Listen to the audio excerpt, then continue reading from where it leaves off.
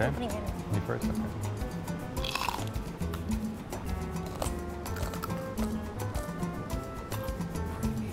Definitely explodes. It's a big burst of spicy and chili. There's definitely a bit of heat coming in through now.